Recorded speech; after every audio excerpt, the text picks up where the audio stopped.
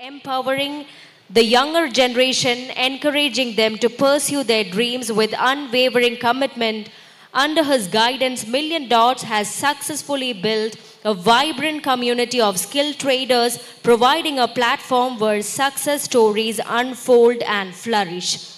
Welcoming Monika ma'am and Kenz onto this auspicious venue of Kerala Literature Festival 7th edition. Thank you. Thank you so much. Thank you. Yeah, thank you. Thank you so much.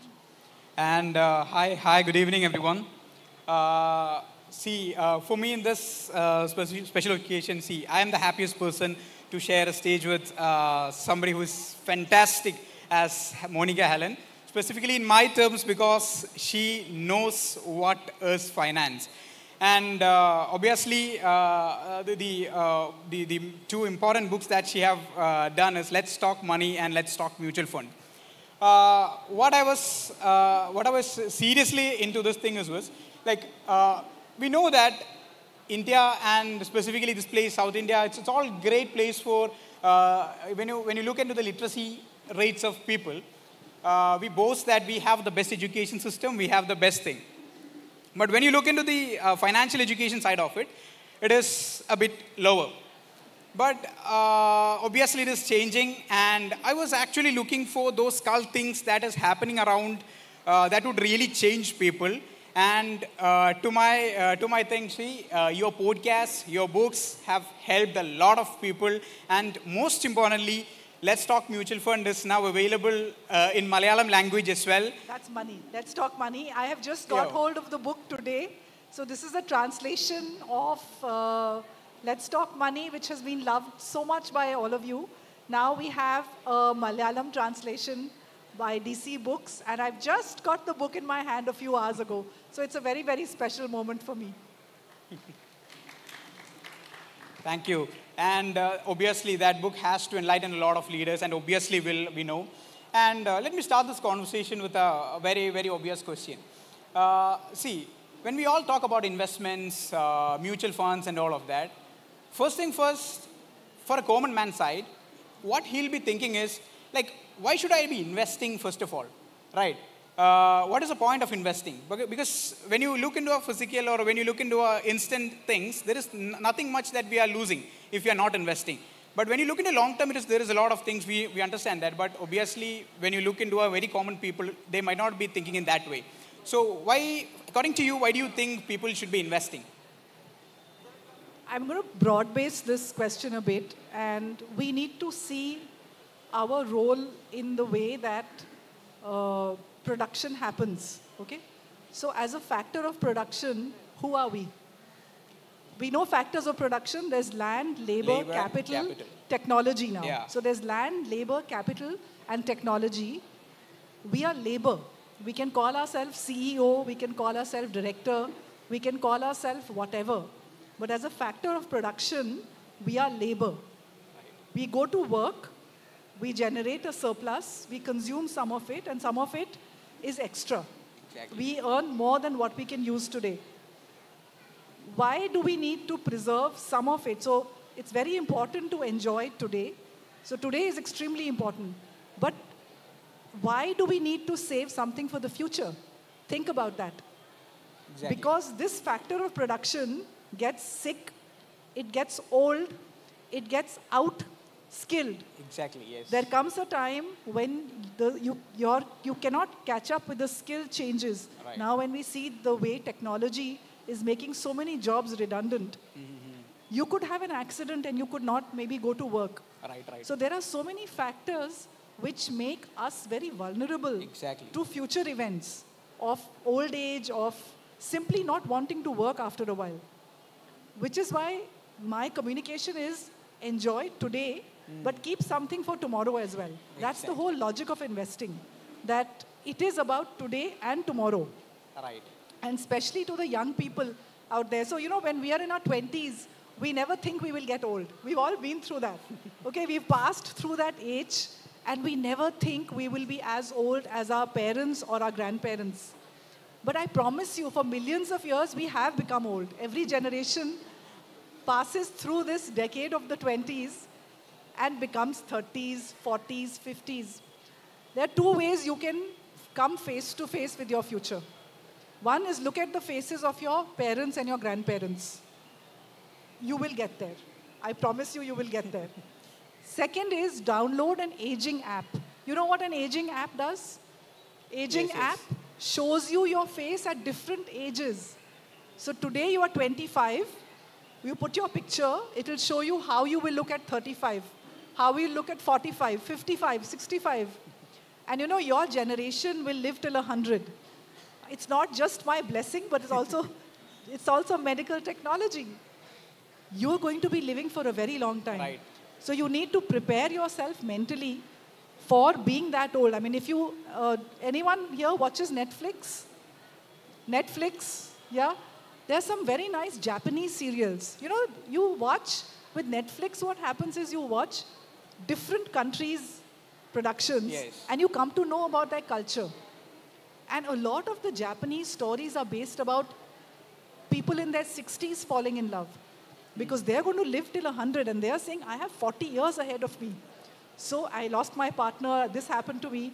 You know, so we are moving towards that time when your generation will be living to well into your 90s. So it's important to have this mindset that the first 30, 35 years of my productive life, I will earn a little bit, I will put towards the future. Exactly. That's the only thing. Not for a moment am I telling you not to enjoy today. Okay, 20s is the decade where you are living life at its peak. You know, you, you really feel you can jump off a cliff and fly. I don't want to pull you back. I'm saying, please spend on today. Don't only save. Spend today, but have a little bit of a habit of saving for the future. Exactly, exactly. That's, that's, that's a very different perspective, I would say. The, like seeing ourselves as, lab, as labor, it's a very different perspective of uh, viewing life. Because, you know, obviously, as you said, uh, you know, probably from 20 to uh, 50 would be the right peak of your time, which you have the best performance. But after that, you obviously will have the wear and tear. You'll, you'll slow down. So the other thing again, because it's a young crowd, what you have to remember is that you have to go on earning current rupees. Because the retirement corpus, if it is put only in safe places mm-hmm. like, you know, fixed return, then the capital doesn't grow, but inflation keeps growing. Right, right. So the idea is to keep earning current rupees as long as you can. So even if you are, say, retiring, there has to be a skill set that you take to the market and you can earn current rupees. Even at age 60 or 70, there should be something you can do to pay at least a part of your bills. So that's Right. something, keep the skill set honed all through your lives. That's a, it's the principal thing about uh, making money is also earning money. Right, right, I get that, and I take that. You know, live today and have a bit of, uh, you know, yeah, to, for tomorrow. That's Because tomorrow will come. yeah, obviously yes. But you know, people are uh, you know acting as if there is no tomorrow. but yeah, uh, a very very different and very Yes. interesting perspective, I would say. And uh, uh, you know, when you when you when we look at uh, to especially into people of India, we do feel that uh, people have a very bit awkward or a taboo sort of behavior towards money because you know money has never been a major subject especially in klf I, i'm really happy today in the sense you know in a literature fest we're speaking money in the sense it obviously finance has to come into mainstream topic. But we haven't been seeing that much. You know when, in, when you look into household talk uh, money has always been a, a, a, a sort of talk that which you speak like sex or something you, you, you, you keep it behind the curtain you, you always make sure that you know money is always something which people are not ready to speak out loud so uh, what, what do you have an attitude about it You know, that's so unfortunate. Have we heard of these words? Kama, Artha, Dharma, Moksha. Have we heard the four parts of a human being's life? Kam, Arth, Dharma, Moksha. Kam is about enjoyment of life. Arth is about money.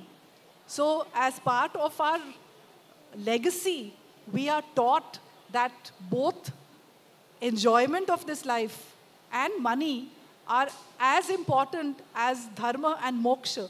There are four pillars on which it rests. So, this, uh, and you're absolutely right, there's a shrinking away from the whole money thing that money is evil, money is bad, um, it is the ill gotten gains.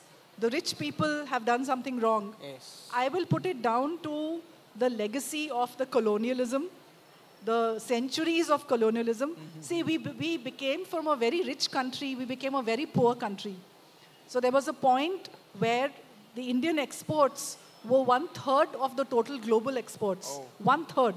Today, it's in single digits. Right, right. Okay, so we were extremely wealthy, uh, as- you know, a thousand years ago, and then the colonizations happened, Yes. and slowly, and this got accelerated with the British colonization, we lost that wealth. And you know, when a nation has nothing to look forward to, when you are generation after generation only poor, then you put poverty on a high pedestal. The only way you can give dignity to yourself is to say that the rich are bad, anyone who has money is evil. Right. I have, I am poor, but at least I have my morals. And you know, interestingly, you see a reflection of this in Indian cinema, in Hindi cinema. right, exactly. You, what is that famous? How many? You people are too young, but you remember that famous dialogue, "Mere paas maa hai." What is what is that scene there? Here is a poor brother who doesn't have gadi, bangla, daulat, shohrat, mm-hmm. But he has what? He has ma. He has mother. So mother here is symbolizing this high moral ground. Right, right. And the smuggler, Amitabh Bachchan, he has gadi, daulat, bank balance, sab kuch hai. Yes. But he doesn't have the high moral ground. You know, so over time in Indian cinema, we have seen how money has been demonized Exactly, exactly. because we were so poor. But I've seen a shift in the movies post 1991. 91 is where the economic liberalization happened. Mm-hmm. Okay, that was a moment in our lives which has changed. So my generation benefited from that first wave of reform.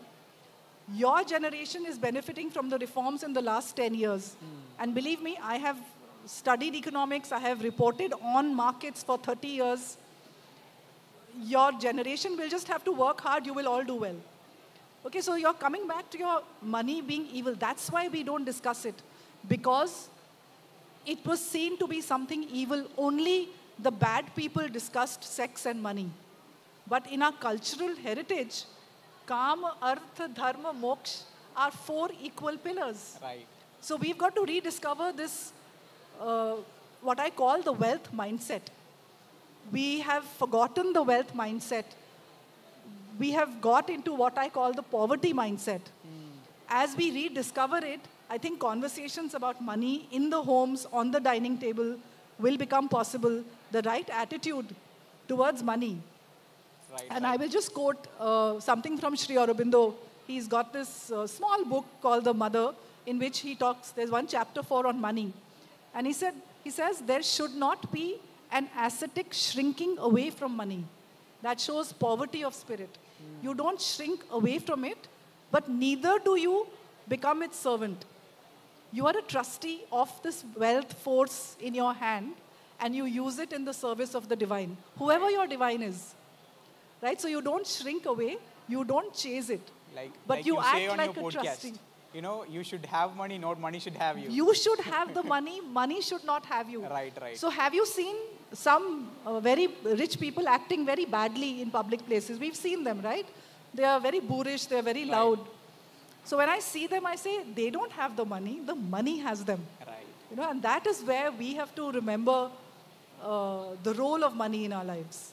Exactly, and uh, the, the the specific part you talked about the cinema, it was you know uh, it's a very uh, clear example of you know uh, because entertainment do have a very big influence in how we become, because that is probably every person spend a lot of time in and is too much involved in it as well when it comes to entertainment.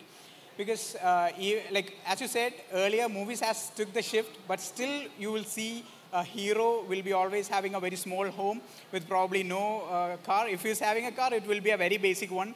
And the same time, the villain or uh, whoever it is will be having a big Yeah, bungalow. but it's beginning to change a bit. I'm Yeah, yeah. beginning to see, look, in Gully Boy, Exactly. exactly. Again, it was a poor slum boy, but he wanted to make it big for himself, not for his mother, not for his sister. He wanted it for himself. He's saying, "Apna time aega." Yeah. You know, so that I see is the aspiring Indian youth who are going for this wealth, and I think it's a celebration of life. Exactly, exactly. That's correct. And uh, uh, when we when we speak about you know the money parts, uh, the money things, uh, it's as always said, you know, entertainment and a lot of things is starting to shift, taking shift. But the point is, uh, from my side, uh, if I'm not wrong, I think when you look at the whole people in India, uh, the overall internet penetration we have in India is around 45 percentage, I guess, if I'm not wrong. The thing is, uh, the entertainment, the movies, uh, the social media space, places, the books, and all of that reaches to a particular layer of Indian culture, I guess. Uh, according to you, what do you think it really takes to get deeper into the, uh, you know, the, the people of India so that a bit more, uh, uh, you know, a bit more people have to have that idea. And because, you know, the Indian households, when you look into a place which is below average, you know, where financial status is below average, they have to, you know, they do have, they do receive money, but the way they spend is very bad, I guess, what I have seen or what I have researched about it. But if they had a very clear idea about how the spending has to be or how to actually manage the small amount of money they have in order so that after 10 years or 15 years they could have a better life. So how do you think that we can actually reach in a bit, a bit more deeper level? No, uh, so one thing I think the poor are very careful with their money. I think they're far more careful because for them it's with life and death. So there's a book called Portfolios of the Poor, came around 10 years ago, and there they track the portfolios, what they do, uh, people who are really at subsistence level. And it shows a very high degree of sophistication of managing different goals, mm-hmm. trying to live day to day.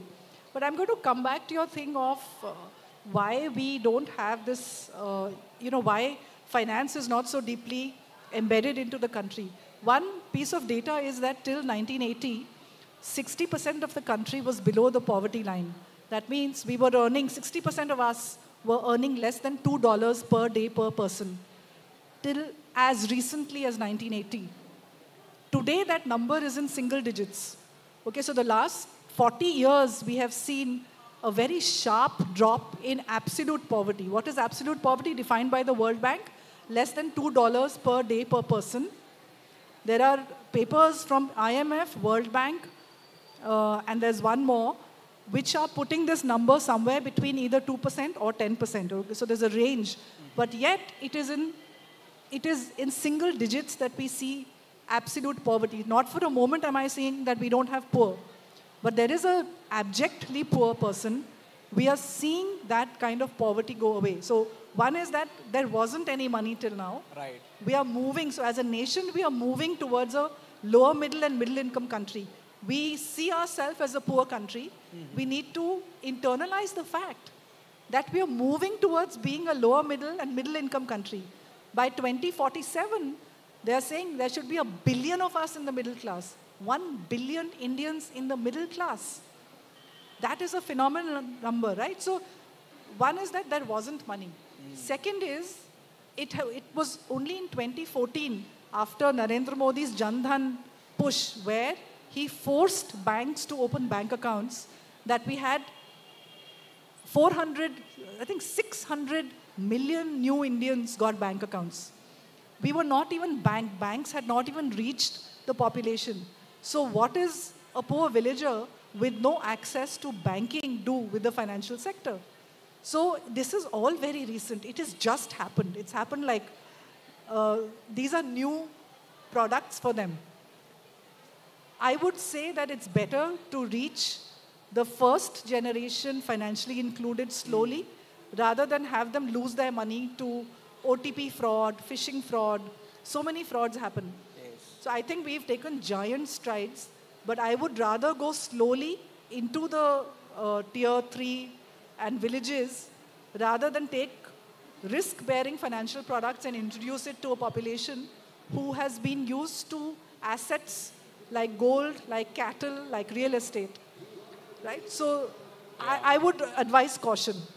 Right, nice, nice. See, uh, uh, as you've said, you know, previously we haven't seen money, and we are like, uh, let me take that into a, a very, very uh, nearest generation. The thing is, uh, after our colleges and schools and everything, uh, we obviously will get a job. It is then actually people start to think about money by any means because you know till that point of time all of their finances would be handled by their family or somebody else at one point, once they start to work and get their first salary, you know, I used to say that, you know, they treat their first salary as a toy, that, ge- it is- which is getting for a very small child. They, they don't know what to do with it. They are spending like anything. And, you know, from that moment, they think that, okay, they have a lot of money and they don't know what to do. They're doing a lot of great things. And what happens is, they soon get into a debt cycle in such a way that when they get the first salary, they'll get a call from their credit card space and they'll get a credit card. They'll max it out. They'll, they'll uh, work to repay the credit card and they'll have the circle going on and on and again. For me, I really think that uh, money is always, you know, a subject to a person if he's, only when he's starting to use it. That is obviously right now, it is at the age of probably 20 to 24 when he get the first job. Like, what do you think really we need to change in the household behavior uh, so that we could have a better wealth-minded uh, people or kids, basically? So the, we've discussed already the conversations in the home. So one is to involve the children in the discussions about money, about choices. Right. Uh, the choice between going for a holiday to Goa and staying in this luxury resort versus buying either a vehicle or adding to your education fund. You know, those choices should actually be left to the children. When they're demanding something, the trade off has to be shown that this decision here means this for our future vehicle or education or a certain kind of a house. So involve the children in the conversations about decisions.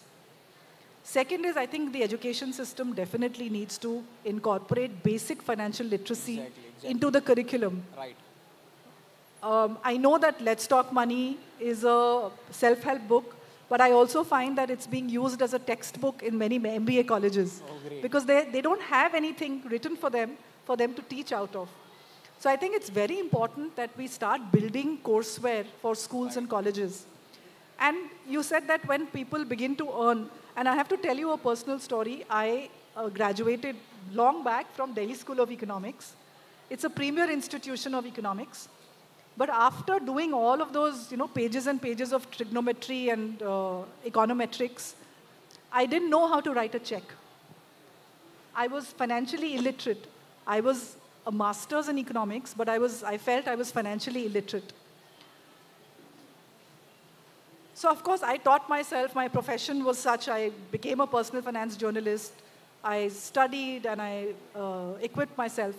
But, you know, a lot of you might be joining your jobs for the first time or already are in first jobs. Now, how, how, how long have you worked to get the first salary? Hmm. You have studied, your parents have said, do well, study hard, then you go to higher courts. I'm going to tell you something which sounds counterintuitive. I'm saying take six months and spend. Don't save a single rupee. For six months, you get that spending out of your system, but don't take any loans. Don't buy on debt. Do guilt free spending for six months in your first job. From the sixth month, you start a habit of saving, say 10%. That is not too much to ask. Again, if you read Let's Talk Money, there's a simple system of the cash flow system, how you can separate saving from spending. But I'm saying get this, you know, you waited so long for that first salary. I think you deserve that six months. Right, right, exactly. Why not just have fun with it? Yes. Buy parents gifts, take your brother or sister somewhere for a holiday. Exactly. Buy yourself a, whatever it takes. Enjoy that money, but you know that there is a six month clock ticking. And after that, you're going to start saving a little bit. I'm not saying save all of it. 10%, I'm sure everyone can save 10%. So that's my communication. Don't go into debt, but try this guilt free spending for six mm. months. Probably they'll have to find a, a, a space where you know they're not spending too much and they're not saving too much. You know they'll have to enjoy the moment as well as you said earlier. both it's Right. today and tomorrow Yeah. that is so you i've seen families who only save Mm-hmm. you know they won't even eat an ice cream because it's a gelato it, it's 200 rupees why will i spend 200 rupees but you know you have the money why not spend it Right, it is about today Right. And uh, as we said, you know, to raise uh, to raise wealth-minded kids, you have to have give them the opportunity to decide. Pro- to raise wealth minded kids you need to sort your wealth out first right. to raise responsible children, you need to be responsible with money. Yes. Because children do what you do, not what you say. Exactly. So you have to set the standard in your actions. Right, right. See, uh, while I was reading an article, uh, you know, uh, the, the, the level of financial literacy we have, it shows. The, thing is, uh, I've heard about this uh, numbers, which was 18,900 crores, which is left uh, unclaimed in banks uh, as of 2019, I guess, uh, which is not uh, claimed by any nominees. Know, after death, they have their money in their bank, which is not claimed by any person or somebody has not done anything with it. You know, it's a huge amount of money, specifically when you look into India and in this people, you know, it's a huge amount of money. Uh, to add a nominee is a very basic thing that we have to understand. And even that level of financial literacy has not been uh, given to the society. And obviously the books like you the authors like you will make a change obviously yes because you know as you said earlier the, we the financial education is not having a proper material itself to teach them. That is why they are using your books so it, it is it is a very uh, you know you have to bring in a shift in financial education space where they have to have their exposure to I money think I think there is some move to introduce some basic pages Okay. of financial literacy in the school curriculums. They are talking about it. So we are hoping that they introduce it. Yeah, and uh, the funniest part is no, not the funniest part. Obviously, India is changing. We know uh, how we we have seen how India has been uh, growing since then. But uh, India and UK are the two important countries that we say or we boast about the education system we have. Uh, but uh, when you look into other countries, we have seen uh, US and uh, uh, probably Australia and all have inculcated the financial education as a mandatory education in their school level, which obviously uh, we are hoping uh, to have that We should have it soon. we should have it soon. And uh, in a person's life, on moving forward, you know, once you have the salary, you're, you're having a very good life, and it's going like that. See, at, at what point do you really think uh, a person should be thinking about retirement fund? When I, when I say retirement fund, uh, the, the, the ma- major thing I would say is that, you know, uh, when I have done a video around uh, retirement fund, one of the funniest questions that I have received uh, on that video as a reaction was this. Like, why do I need to, why, need, why do I need to have 5, 6 crore rupees at 60? Rather, I would have that at 25. I'll just spend it at what, what's, what all money do I have at 25? I'll spend it and enjoy. Why do I need money at 60? So that was the size of attitude. You know, that question might be a mischievous one, who who cares? But the thing is, people have that slight attitude of why should I be actually looking at my retirement when I'm all healthy now, as you said. You should reply that you should see in a lot of homes how the grandparents are treated who might not have the money. So it's a very hard thing I'm saying. But uh, money also gives you power within the household, it gives you dignity within the household. So, for anyone in their 20s who's thinking, what will I do with 5 or 6 crore in my 60s and 70s? You should just look at some of the older people in some of the families Exactly. who have either they don't have a pension or they have signed away their assets to their next generation. Not in all of them, but in some of them, they're not treated well. And I will tell you a story of a, this is something I heard from one of the sessions that I did. Very, very rich, famous Delhi lawyer. He retired, he passed his practice on to his son, who was also a very prominent lawyer. This old man was walking in Lodi Gardens mm-hmm. and he met a friend. And the friend wanted to discuss something he read in the paper today. Okay, these are people with like a hundred crore of net worth. So this old man who has retired, who has handed over the keys to the son, is walking with his friend, and the friend says he's discussing a piece of news this morning. The old man says, I get to read the papers a day late. My son reads them on the day, I get them the next day. A newspaper doesn't cost more than a thousand rupees a month. Right. So, for your own dignity, for your own peace of mind, for your own sense of self respect, you have to have the money at all points in your life, and especially to the women out there. This is not control you hand over to the men.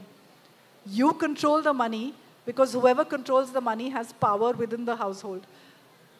These things can sound very hard and cruel, but these are facts of life. And because of the work that i do so many cases come to me so many stories come to me that all i can say is that you should have the oxygen mask of money first on you. And especially women will look after the entire household but you be financially independent first Right, so that's my answer to people who don't see the point of having 5 6 crore in their 60s you will be dependent on your children.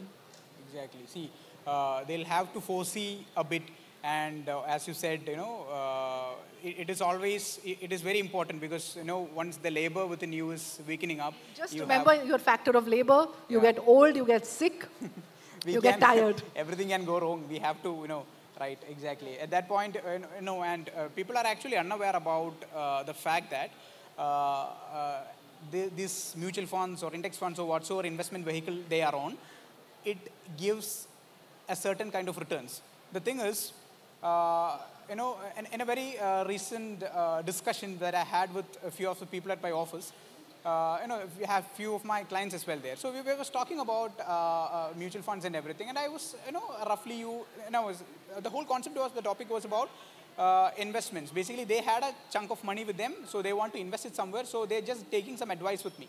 So I said, uh, see, uh, investments and all of that you can do in mutual funds, index fund, and all of that, and you can get somewhere roughly around uh, 12 percentage annually. I said.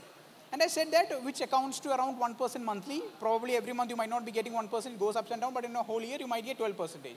For let's say for 50 lakh rupees you have, you might get somewhere around 50,000 rupees every month average. It is possible in mutual fund. So when, when I said that particular thing, this people was like, do you, uh, like, is it, is it really happening here? They, they, they had no idea of this thing happening here. Because the thing is, uh, the first thing people think about doing when they have a 50 lakh is that they are going to buy a home for their own or they are going to put it in an FD the max. So, uh, what is the suggestion that you have? You know, what are the different uh, investment vehicle that you would suggest that people to have to invest basically if they have a, a you know corpus of amount with them? So the thing that which is really important is if you have a corpus, you have to decide what you want. You want to grow it. Exactly. If you want to grow it long term, then you uh, entrust it to the stock market for long term investing. If you need an income out of it, then you don't use the stock market. There is no shame in being in fixed deposits. Okay? So if you want current income, you don't put it in equity. It's only when you have money for the long term that you put it into equity. And this is something that you will have to educate yourselves on on what is equity, what are debt products, how to use them. So there's a product called an index fund. Everyone's heard of the Sensex? That's the stock market index on 30 of India's biggest companies.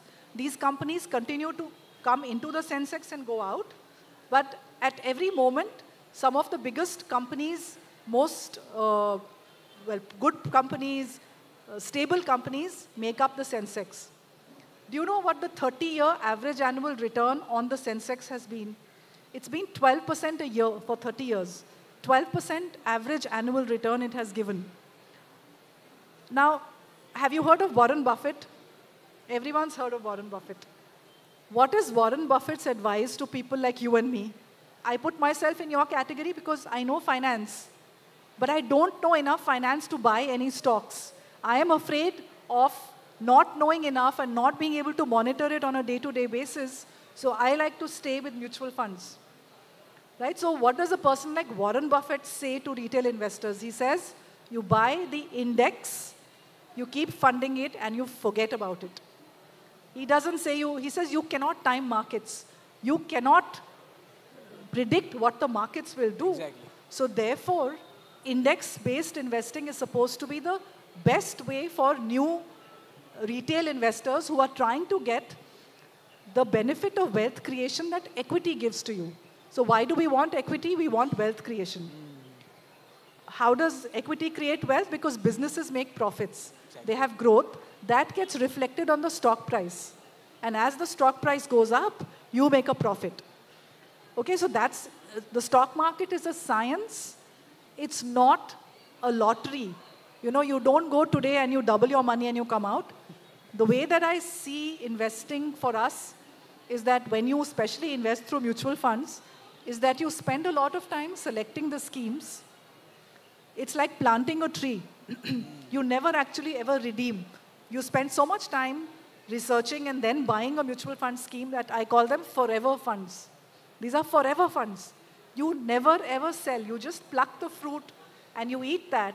You leave the tree for your next generation. So that's the mindset change of investors that need to happen when you, especially new investors, want to get in and they want to get out. Right. My question is, why do you want to get out? What do you want to do with the money? If there's a goal which has been met, that's fine. But if, if you don't need the money, let it stay in the market. So when I joined work, this is 1991, the Sensex was at 2000. It was at 2000. Were you investing then? That's the thing. I wasn't. I didn't have money at all. Even like now, I think I should have put at least 500 Yeah, rupees. That's my only regret is that I didn't uh, start investing at that age when I should have. I started investing much later. But what I want to tell you is every time the markets went up from 2000 when it went to 4000, it'll crash, it'll crash. 4000 to 10,000. Oh, this is a scam. That's too high. 10,000 to 25,000. Oh, this will definitely fall now. Right. Of course it fell, but it came back. Same thing 40,000, 50,000, 60,000, 70. At every milestone, I hear this that this market is going to crash. Right, right. Of course, it crashes. But then, because there's growth in the companies, it comes back. So you have to be, you have to put your seatbelts on. You have to be ready for the long ride. When you go on a, uh, when you go to an amusement park and you sit on a roller coaster, what do you do?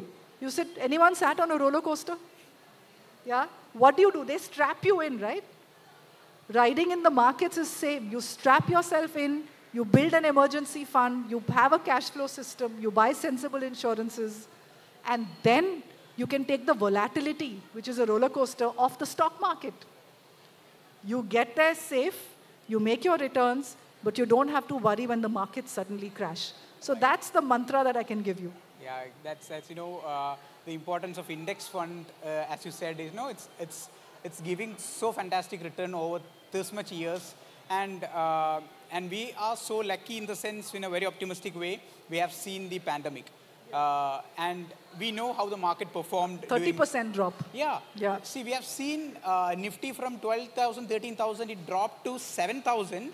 And in a span of probably five to eight months, it came back. It was, it doubled. And, and from that point, It when you look stopped. at now, it's 118, 120 percentage up again. And you know, at that time when the markets dropped by 30%, I know of people who sold the entire, people who should have known better.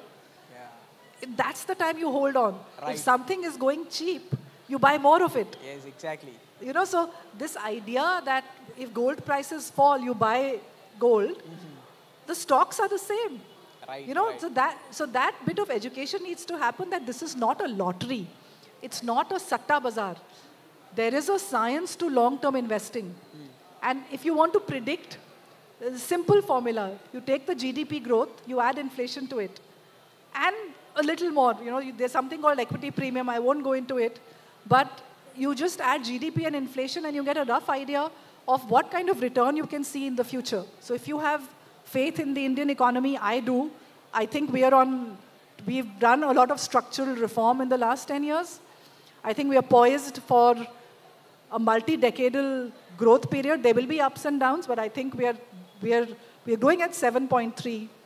We hope to sustain a 7. You add 5% inflation. What number are we reaching? We're reaching 12 to 14% on the index only over the long term, not year on year. Right, right, exactly. So you have to be you have to be very careful when you invest in markets. Yes. You have to follow the rules. If you don't follow the rules, you will always lose. Mm-hmm. And the rules are that when you start index investing, you stay the course. You do not redeem when the markets fall. In fact, that's the time you add money to it. You have what I call an asset allocation in place. It's a uh, split between your safe assets, which are called debt, and equity, which is the risky asset. That ratio is very important. You know, should I be 70% in equity? Should I be 50% in equity? Those are individual decisions that you take. But once you take that decision, that becomes your cue to either buying more or selling. Right? So that asset allocation becomes the most important decision that you take in your financial life. So when you take the example of uh, the market crash in 2020, Yeah. suppose I had an allocation of 60% equity, 40% debt, that was the time it fell to 40% equity because of the fall in the market. But if my allocation was 60, I should have been buying equity then. Right. So your cue to buying and selling comes out of your, it, the power is in your hands. And that's my communication over and over again. Don't look at outside factors.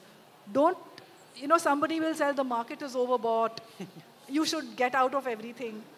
That's not, it may be true for that person. What is your asset allocation telling you? And you act according to the power that you have in your hands. Exactly. And uh, as you said, you know, long term, being staying long term is the key. And also, when you uh, look at the, uh, you know, the overall performances and everything, it's a great place. We have a great place to invest. And uh, stock markets, as you said, is a place of science, not a place for you to, you know, double your money in two days. And you know, while we were talking in the uh, backstage, you said about this thing. You have zero stocks in your portfolio. I have no stocks in my portfolio, and I'll tell you why. So I write about money, I speak about money, I know finance, but I don't want to spend all of my day worrying about my money. See, understand the difference. Exactly. That I don't want to every day worry about my money. I want to have a system so that the money is working in the background. It leaves me free to do the things Right. like talking to you all about money, but still coming and talking to you all, traveling, reading, doing whatever else I like to do. Right, right. So the idea is that I don't want to buy stocks because I'll have to monitor them. I'll have to worry about uh, the war in the Middle East escalating or not. Okay, because if it escalates, our energy prices go up. Then what happens to inflation? So, or, or if uh, there is a change in some company's uh, leadership, what does it mean for my stock? There are so many variables when you do direct stock investing Exactly. that I feel I don't have the inclination, I don't have the time, and I don't want the risk. Right. An average mutual fund scheme has between 30 to 50 stocks, which means if you have one scheme, you're already diversified. Right. The chances of all 50 going to zero are zero. The chances of all 50 stocks going to zero are zero. The chances of two stocks going to zero are very high. The chances of two stocks doing 100% are very high. The chances of a 12% return on an average are very high. So it's a, it's a probability thing. What is it that you're expecting the markets to do for you? And uh, this is also a message that I could give to audience that, you know, when you uh, are planning to invest in sort of stocks, it takes your time. Only if you have the time to invest in, like basically I'm talking about the time quadrant. If you have that time to invest, you can go for the stocks, but that is another case. But otherwise, mutual fund is a great tool for you to have your money in because as you said, is, especially for new investors. Exactly. I, I mean, if you don't understand things like balance sheets, if you don't understand things like PE ratios, net margin, gross margin, uh, if you the capex of what a company is doing, what is the IRR on investment? If you don't understand these terms, what are you doing in the stock market? You should not be there. Why are you swimming in the deep when you can't even swim? Why are you jumping into the deep end of a pool when you don't know how to swim? So stock market is like that. You have to be a swimmer to be able to negotiate the ups and downs of individual stock buying and day trading. So therefore, for new investors, especially for people who are taking risk for the first time in your lives, you have to go the lower risk way. Right. The lower risk way is mutual funds, and within mutual funds, not active but passive, index-based investing. That's your lowest cost, safest way to get the returns that the market probably will give. Right, right. And uh, then coming back to uh, your book, uh, let's talk mutual fund. See, uh, obviously, it will be a guide for us to understand how the mutual fund works and what are the basics and all of that. For sure, we understand that. Can you uh, give a very uh, basic and small idea on what mutual fund is or how it works, for that the audience get a proper understanding about you know how the mutual fund works and what is it actually? No, so it's a collective investment scheme. So a mutual fund simply collects money from different people, collects it, and then invests it either in stocks, bonds, gold, or combinations of these. So a mutual fund is not just investing in equity. It also invests in bonds. It also invests in gold. And now you have real estate mutual funds called REITs. And you have combinations of these. Hybrid funds are there, which do both debt and equity. You have multi asset schemes, which also put gold into it.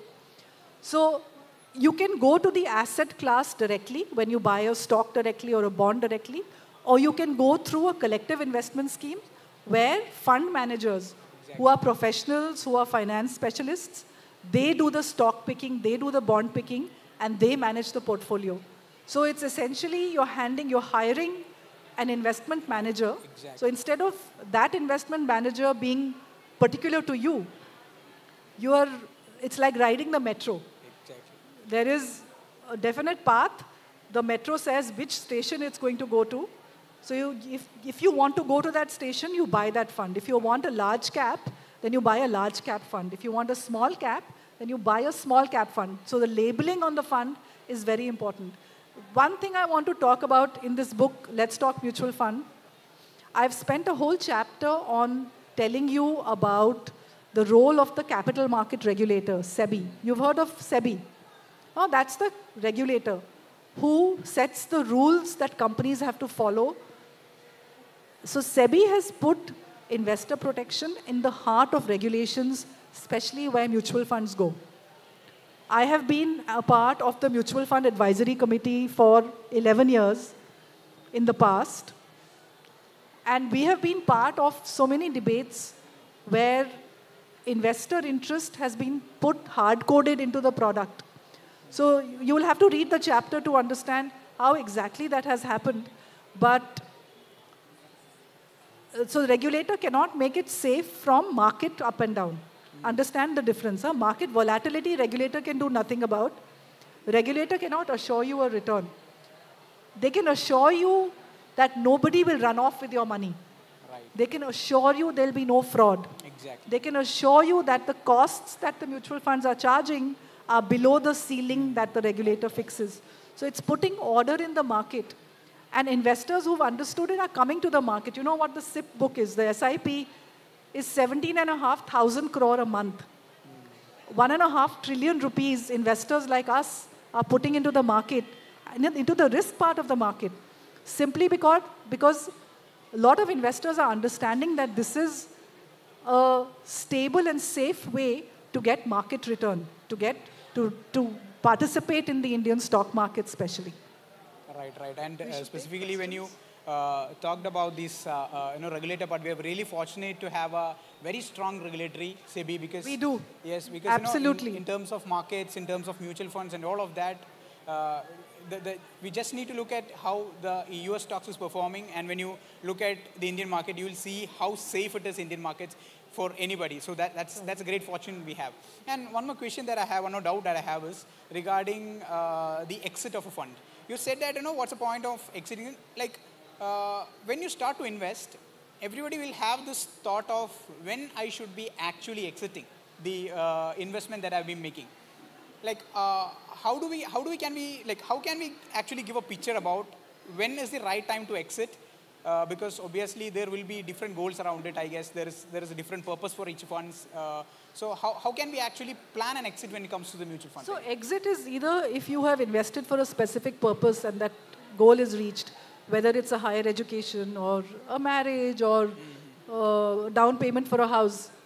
If that goal is reached, you redeem, you sell, Right. and you get out. So it's always nice to have a goal-based Yeah. investment. But there's also investment that you do for the long term. If you're if you're doing investment for your retirement, then you're not redeeming at all. You're just letting it ride.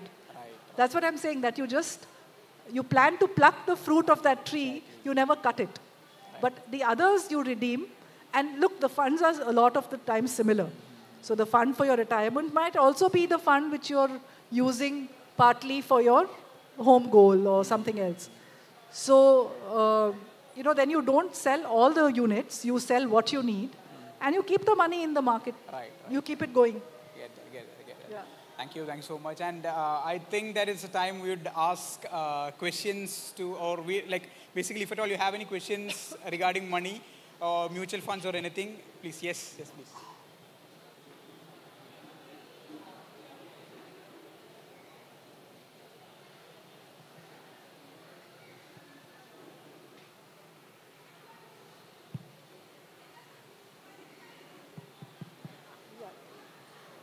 What are your thoughts on uh, investments in real estate in light of uh, the uh, you know current times in which uh, the real estate market is being uh, disciplined and regulated? You know, I find real estate a very difficult market in India. So when in the West you have uh, regulated markets, you have mature markets.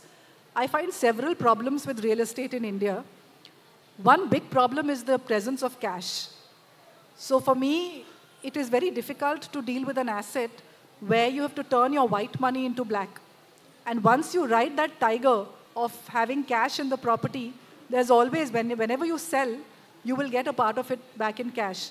So one part of the problem remains that it is a, uh, it's a, it's a difficult asset. Second, it's not, you know, the property values still are fairly inflated. One way to understand residential real estate investing is to see, and if you're doing it for investment and not for own living. If you're living in your own house, it doesn't matter, you can buy whenever you want. But if you're investing in real estate, you have to see the return. What return are you getting? The way to do it is to calculate annual rent divide by the capital value of the property. I'm not taking into account maintenance costs, building costs, nothing. On a gross level today, the yield on real estate is between 1.5 to 3%. How much does PPF give me? 7, around 7% tax free. Of course, there are limits to PPF. What has the Sensex index fund given me? About 12%. With real estate, the problem really is that, uh, so that, that's one part of the problem. The other is that the pr problem is it doesn't make investment sense to me because the rent that I get is a fraction of the EMI that I will pay. So a lot of people leverage. There's some people who like to leverage. You know, there's this whole idea that you should use the bank's money. But that doesn't make sense in India. It makes sense in the US. It doesn't make sense in India because my rent and my EMI are two different numbers. My EMI is five to 10 times the rent that I pay if the rent is 10,000, the EMI is going to be almost a lakh. So if I'm borrowing, my rent payment doesn't make my mortgage. So that doesn't work. Then I have a problem with the, you know, it, it, the liquidity is very difficult. Once you get used to mutual funds and you need like 50,000 rupees, you will just tap some things and in one day your money is out. In real estate, you can't sell one room. You've got to sell the whole thing. There are transaction costs of buying, selling, uh, finding a counterparty who wants to buy. So I find real estate very difficult asset to manage, to hold, to intersect with. So I personally I prefer to have investments only in the financial sector through the mutual funds because I feel that I would need the help of lawyers to buy real estate, to maintain it. I will need a maintenance manager who will fix a leaking tap or he, who will fix the building when it needs maintenance. I don't want to spend my time. So it's also a personality type. There are people who have uh, help who can do all of this. It might make sense for them. But overall, I remain very, very uh, fearful of real estate investments. What if the tenant doesn't leave? So those are the questions. Yeah. Okay. Yeah. yeah. Um, so I, I would like your advice on one thing. If I want to use my investments as a secondary source of income, so what tools would you advise? Rather than saving? Your investment as a secondary tool of income would require a very large corpus. Okay. So, you know, my suggestion would be that you get to an age where your corpus is large enough that you, you can enjoy the income from it. Yeah. I mean, how much should that corpus be before? No, so it, see, you have to, we don't know, it depends on what your spending habits are. But typically, by your mid 50s to 60s, your corpus should be large enough that you don't have to go to work. That's the idea. But at a younger age, don't expect your investments to sustain your life. You should, your, from 25 to 55 is the age that you accumulate. It's called the accumulation stage. You're accumulating for the time when you will disburse from that corpus and generate an income. Okay? No, suppose if um, I'm in a situation where uh, I want to follow my passion and I'm in that field of work, but the yeah. return, I mean, the income in that field of work is not so great. But I want to use my income as uh, and my investments as a second. Uh, no, that's fine. See, then every specific situation would be different, and your passion will have to, at some point, generate the money. Otherwise, you're eating into your capital. So there is this, uh, you know, the passion at some point has to sustain your livelihood. So I would be, if I have a, if I have a clear direction ahead that I will take two to three years for this passion to start paying me back, and then I will rebuild my capital again. That's fair enough. But, uh, you know, a passion just for its own sake, if you don't have the capital, is difficult for sustenance. Those are the hard truths. Yeah, you wanted to ask. Hello, ma'am. Uh, my question is about uh, mutual funds. Uh, there's a general perception that mid-cap funds and small-cap funds are currently overvalued. So it would be the, would it be the right choice to invest in large caps in the current market scenario? I always take what I call the thali approach, where uh, my portfolio has little bits of everything in the proportion that suits my risk appetite. So I personally never time markets. I have an allocation in mind. So even in the equity, there is an allocation to the safe large cap or index. There's an allocation to mid cap. There's an allocation to small cap. It's 50, 25, 25. Okay, that's the allocation typically which people should use. 50% in index large cap, 25 in mid cap, 25 in small cap. No matter what the market does, you stay with that. If the small caps run up, this 25 becomes 35, that's your cue to sell.